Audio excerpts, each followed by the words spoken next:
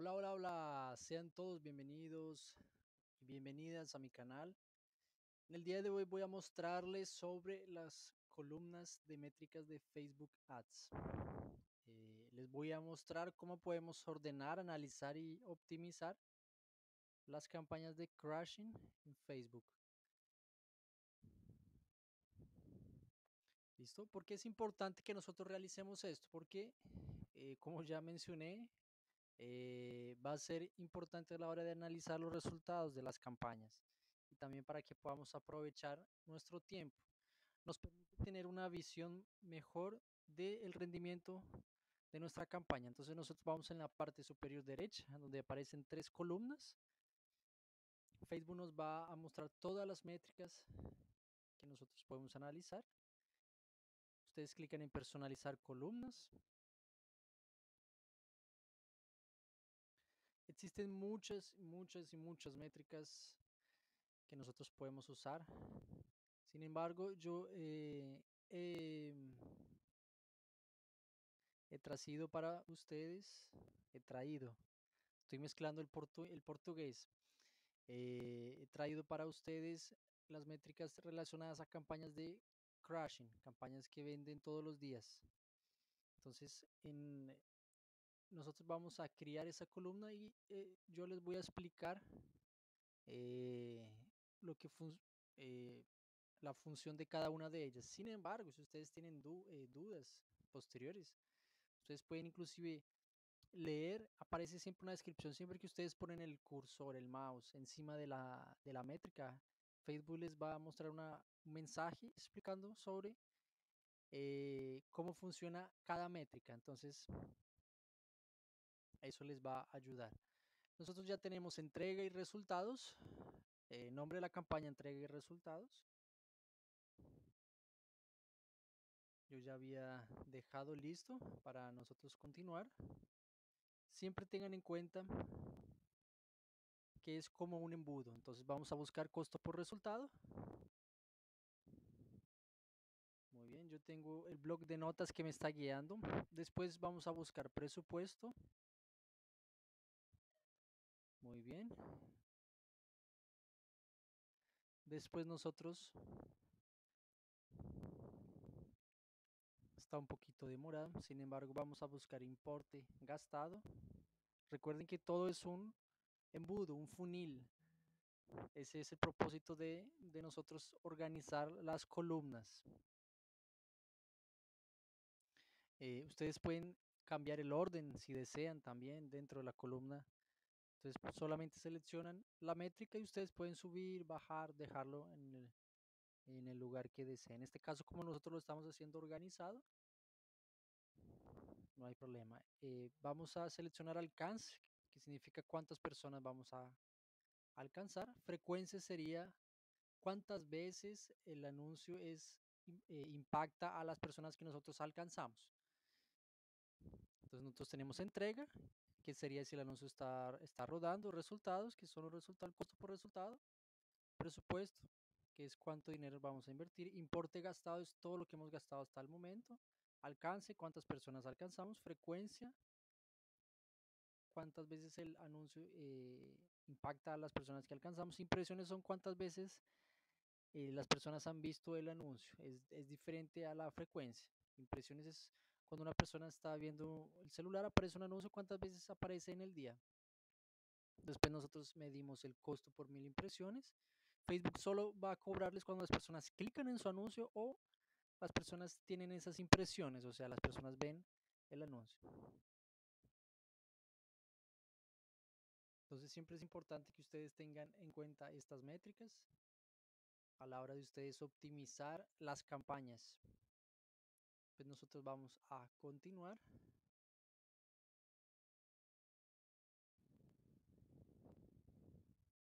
Si tienen dudas sobre, sobre lo que estamos realizando, pueden dejar en los comentarios que yo voy a ayudarles a responder esas, esas dudas que ustedes tengan. Eh, después vamos a buscar una métrica que es reproducciones de video. Esto funciona mucho cuando ustedes tienen un e-commerce. Eh, funciona bastante.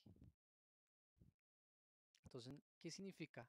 Las reproducciones de videos, cuántas personas reproducen el video que ustedes tienen. Si ustedes tienen algún producto físico, por ejemplo, ustedes quieren mostrar el producto, tienen el video dura eh, unos 15 segundos.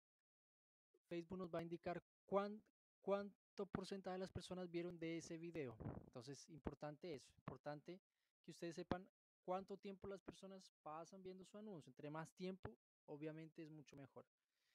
Muy bien, después vamos a buscar clics. Clic significa cuántas personas clicaron en su anuncio una vez que el anuncio apareció al frente de ellas. Entonces hay diferentes clics. Eh, yo recomiendo que ustedes coloquen eh, clics en el enlace. Si ustedes clican en clics todos, eh, Facebook va a contar los clics que las personas hicieron los comentarios, los clics que las personas hicieron cuando clicaron en me gusta, cuando clicaron en el video para ver. Entonces, eh, yo recomiendo que ustedes solamente cliquen en la opción clics en el enlace, que sería clics en el anuncio que ustedes están, eh, que ustedes crearon.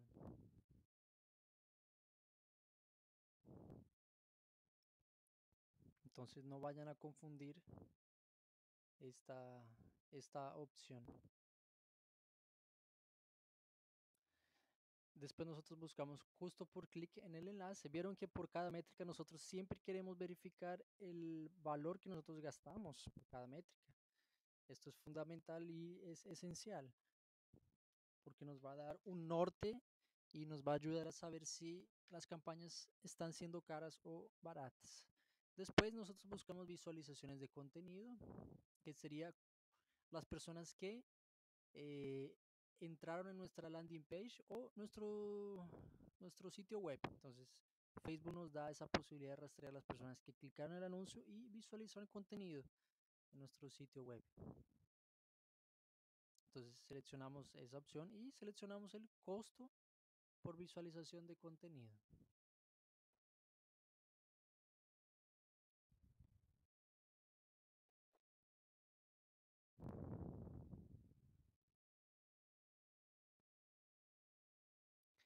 Eh, nosotros adicionamos artículos agregados al carrito en el caso de las personas que vendan, eh, que tengan un e-commerce, que tengan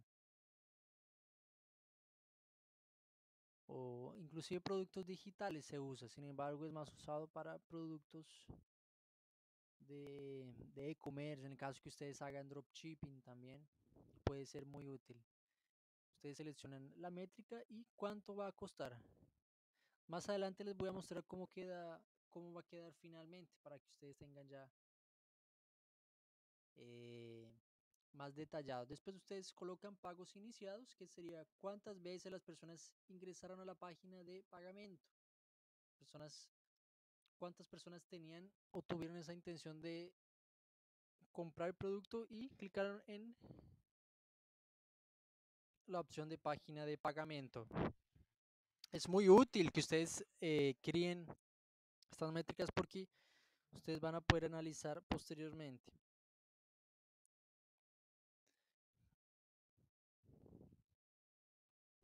Muy bien, después nosotros queremos verificar que cuántas personas eh, ingresaron las informaciones de pagamento. Entonces vieron que nosotros estamos haciendo una secuencia. Nosotros estamos mirando los clics en el, en el anuncio, personas que visualizaron nuestro sitio web, personas que eh, adicionaron al carrito, personas que eh, ingresaron en la página de pagamento y que ingresaron la información de pagamento, sea el cartón de crédito, cartón de débito eh, o alguna otra forma que las personas tengan para pagar sus productos. Después nosotros vamos a adicionar compras y el costo por cada compra.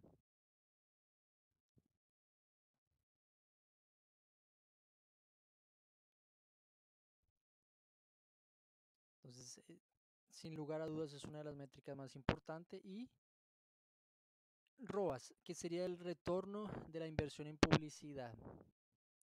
Entonces, eso significa cuánto dinero nosotros estamos invirtiendo en publicidad, en este caso en Facebook, y cuál es el retorno que está que, está, que nosotros estamos teniendo de esa inversión. Entonces, nosotros vamos a colocarlo. Ya estamos terminando inclusive. Importante que ustedes tengan en cuenta esta información.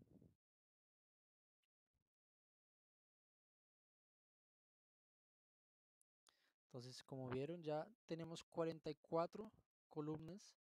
Sin embargo, nosotros vamos a quitar algunas. Por ejemplo, Facebook selecciona automáticamente eh, cuando nosotros creamos compras, él selecciona compras en Facebook, pero nosotros no deseamos compras offline tampoco. Solo dejamos compras en el sitio web. Vamos a hacer lo mismo, información de pago agregada offline, vamos a quitar solo vamos a dejar información de pago agregada en el sitio web. Vamos a hacer pagos iniciados, vamos a quitar pagos iniciados offline, solo dejamos en el sitio web. Igualmente hacemos con artículo agregado, quitamos el artículo agregado al carrito de Facebook y carrito offline. Vamos a hacer lo mismo con visualización de contenido.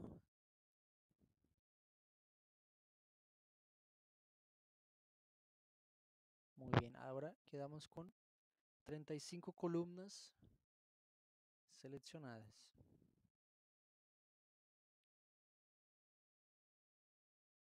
Ustedes van a la parte donde dice guardar como predefinido y ustedes le colocan un nombre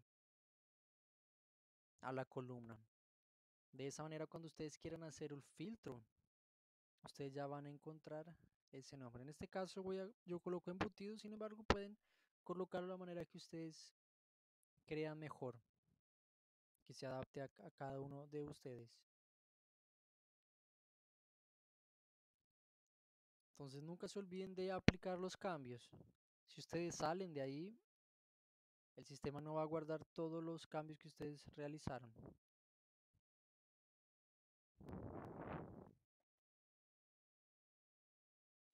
Muy pocas personas realizan esto que yo les estoy mostrando, entonces eh, ustedes pueden hacer realmente una diferencia y como yo expliqué anteriormente el embudo tiene diferentes fases.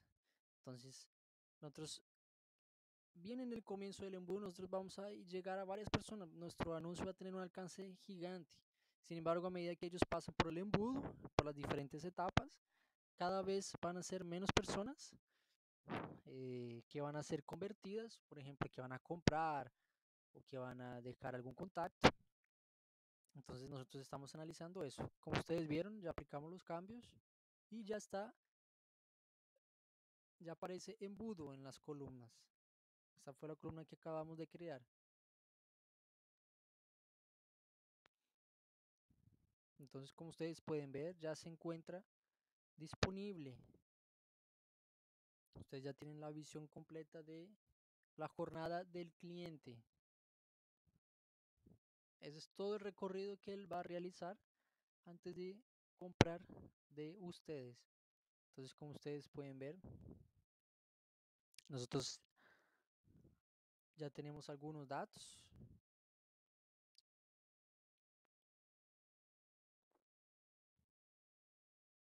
Normalmente, normalmente eh, las impresiones son mayores que el alcance. ¿Por qué? Facebook cuenta cuántas veces una persona vio el anuncio varias veces. Entonces, por ese motivo, él muestra varias veces a la misma persona. ¿Por qué?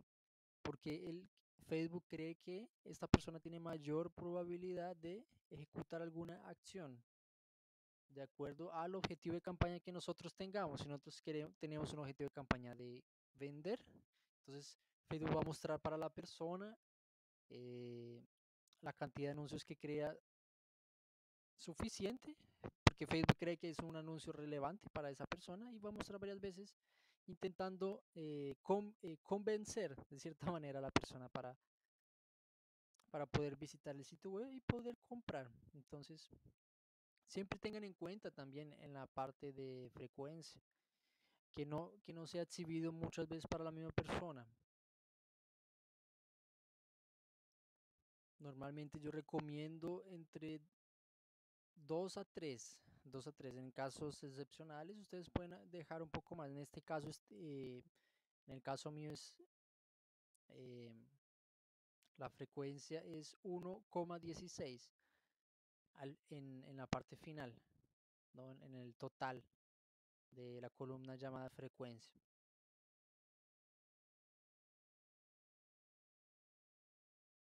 Aquí tenemos el importe gastado, que fue eh, lo que he gastado en esta campaña. En este caso son reales. El gasto total, eh, si hacemos una comparativa, van a ser unos 250 dólares aproximadamente.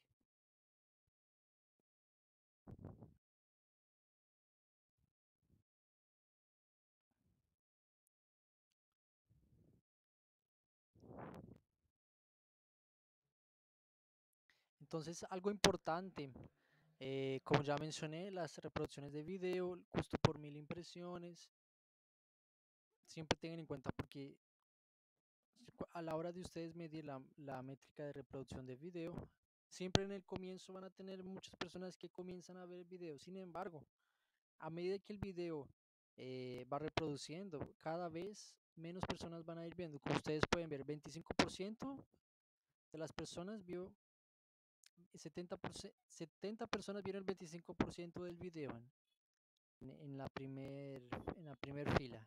Después el 50%, 38 personas vieron el 50%. Ustedes ya ven que hay una disminución que va disminuyendo el número de personas que ve el video. Después 75 eh, por ciento, 37 personas. Y al final, solo 9 personas vieron el 95% y 6 vieron el 100%. Entonces vieron que comenzaron bastantes personas, 740 personas. 740 personas. Ese es nuestro embudo. Muchas personas al comienzo, pero a medida que nosotros, eh, a medida que el video comienza a rodar, cada vez eh, menos personas tienen interés.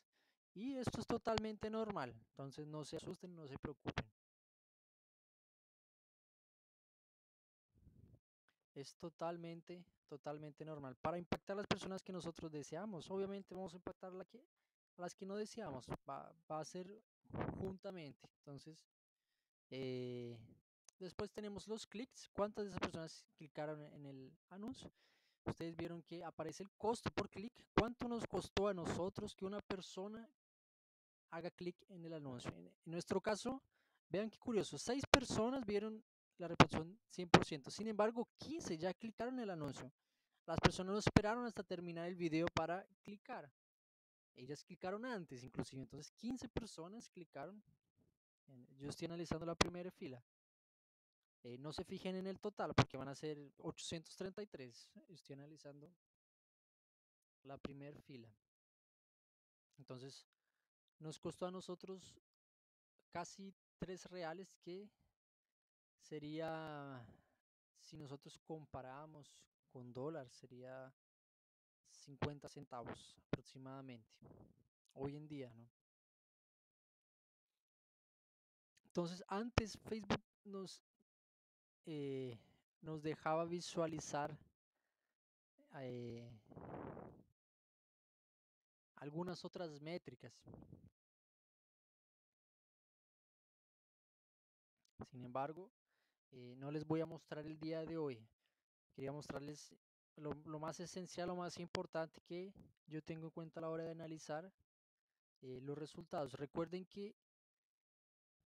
esta información que nosotros tenemos, eh, esta información costó dinero. Entonces, mismo que nosotros no vendamos esta información nos va a ayudar para nosotros crear campañas mejores, que es lo que nosotros llamamos de optimizar. O sea, mejorar las que están, dejar las que están dando resultado y desactivar las campañas que no están dando resultado. Ustedes no pueden mejorar una campaña que no da resultados, solamente ustedes tienen que dejar los que están dando resultado. Ustedes van a escalar, ya sea que ustedes aumenten un valor invertido en las campañas que están funcionando. Incluso yo recomendaría que ustedes hagan, que ustedes hagan, que ustedes dupliquen las campañas y que no eh, editen las campañas que están rodando actualmente, ya que Facebook pasa por procesos de aprendizaje. Entonces, es bueno que ustedes, si tienen una campaña que está funcionando, ustedes quieren escalar, ustedes dupliquen esa campaña, aumenten el presupuesto y inclusive pueden testar diferentes públicos. Bien, entonces en este caso eh, tenemos aquí las métricas pagos iniciados, pagos, eh, cuánto nosotros pagamos por las personas por, por esta métrica. Ustedes vieron que a medida que pasa el embudo, las métricas son el costo por resultado más caro. Entonces, nosotros tuvimos que tenemos que el costo por, por clic en el anuncio nos, nos estaba costando 3 reales. Ahora, el costo por eh, pago iniciado está 5 reales y 60 centavos, es casi un dólar. Entonces ustedes van viendo que a medida que nosotros vamos llegando al final del embudo, el costo por resultado es más caro. Aquí, por ejemplo, en esa primera fila no tenemos compra, en la segunda tampoco, en la tercera, ustedes ven que nos está costando 179 reales por compra. Esto sería aproximadamente en dólar para tener una comparación. Eh, unos 30, 30 dólares, 30, 35 dólares. Eso es lo que nos está costando. Ustedes vieron que para que la persona llegue hasta la página de, de pago nos está costando un dólar. Para que la persona compre de nosotros está costando 35 dólares. Entonces, esta campaña yo tuve que desactivar porque estaba siendo muy cara.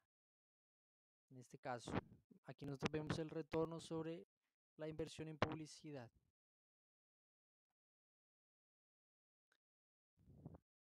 Que es 0,53, en, en la otra debajo es 0,49 y en la otra es 0,85. Entonces, importante que ustedes a la hora de desactivar las campañas siempre tengan en cuenta eh, esta información. Ustedes pueden realizar el análisis como yo estoy realizando de la campaña. Sin embargo, ustedes pueden realizar el análisis dentro del conjunto de anuncio. Entonces, ustedes pueden tener esas eh, dos opciones.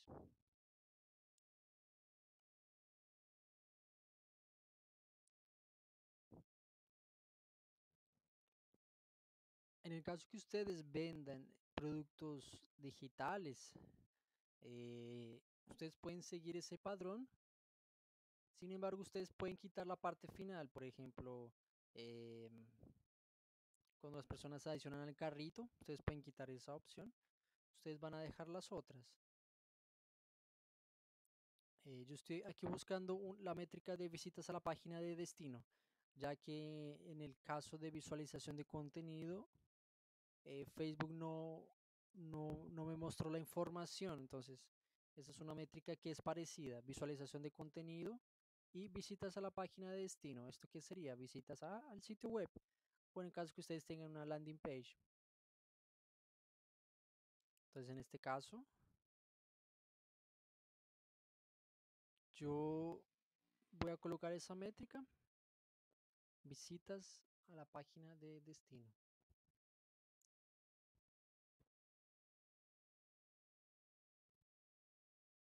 Muy bien, en este caso vamos a aplicar los cambios.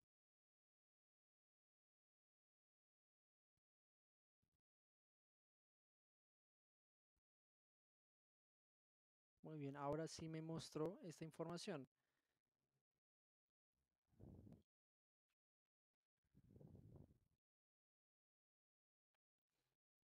Muy bien. Algo importante, un consejo que yo doy para ustedes a la hora de analizar los resultados. Nunca analicen resultados que sean que tengan poca información. ¿En qué sentido? Si ustedes van a analizar que una campaña alcanzó 50 personas y los números de ustedes no son positivos, no 50 personas, 100 personas no son, eh, no son datos suficientes para ustedes analizar. Yo recomiendo, y Facebook inclusive recomienda que a partir de mil personas ustedes ya tengan una noción eh, de la métrica.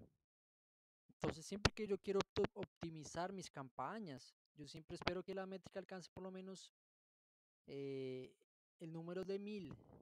Entonces, por ejemplo, yo estoy viendo, analizando métrica, yo quiero que el alcance tenga por lo menos mil personas. Ya con mil personas yo ya tengo una muestra dé el resultado real. Entre menos personas, es más difícil que el resultado sea certero, o sea, que sea acertado, que sea correcto. Eh, si yo quiero analizar, por ejemplo, eh, cuántas personas reprodujeron, reproducieron el video, normalmente yo espero unas mil personas. ¿Cuántas personas eh, visitaron la página de venta? Yo espero un número, tal vez no mil, sino 500 personas, por ejemplo. Ya es un número más considerable, es un número en que nosotros ya nos podemos basear la toma de decisiones. Entonces, siempre tengan en cuenta eh, esta información, siempre organicen sus columnas. Yo les estoy mostrando la lógica, yo les estoy, les estoy enseñando a hacer estrategias, a tener estrategia. Yo estoy olvidando ya las palabras en español. Que ustedes ya tengan esta estrategia de poder organizar sus columnas, analizar las columnas y optimizarlas para que ustedes puedan tomar las mejores decisiones a la hora de anunciar. Recuerden que esto es sumamente importante. No solamente saber cómo funciona la herramienta, saber para qué funciona cada botón. Eso no es suficiente. Importante que ustedes puedan tener esa visión y que puedan tener ese eh, análisis crítico de los datos que ustedes están pagando para Facebook para obtener esos datos. Entonces, si ustedes desean eh, editar las columnas, ustedes van en esa opción que yo les mostré, donde tienen las tres barritas. Ustedes seleccionan, en, en nuestro caso es embudo, yo coloqué el nombre de esa columna embudo y ustedes van a eh, editar sus columnas de acuerdo a sus necesidades. Está bien, espero que el video les haya gustado y que haya sido útil. Eh, no se olviden inscribirse al canal, dar un me gusta, clicar en me gusta para apoyar este trabajo, para traer más contenido para ustedes. Un abrazo grande.